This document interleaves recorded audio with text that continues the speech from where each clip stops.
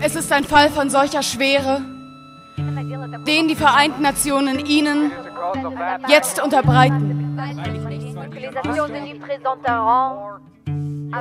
Ich rufe nunmehr die Angeklagten auf, sich zu erklären, ob sie sich im Sinne der Anklage als schuldig oder nicht schuldig bekennen.